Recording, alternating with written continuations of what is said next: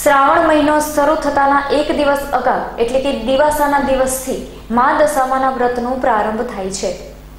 ત્યારે દશામાની મૂર્તિ તેમજ અન્ય વસ્તુઓ માટે પાલનપુરમાં ભારે ભીડ જોવા મળી હતી. મહિલાઓ પ્રથમ દિવસે સવારે વહેલા ઉઠીને ઘરમાં મૂર્તિનું સ્થાપન કરે છે. દસમા દિવસે માતાજીને વિદાય આપશે અને વ્રતની પૂર્ણાહુતિ કરવામાં આવશે. અહેવાલ ગિરીશ જોશી, પાલનપુર.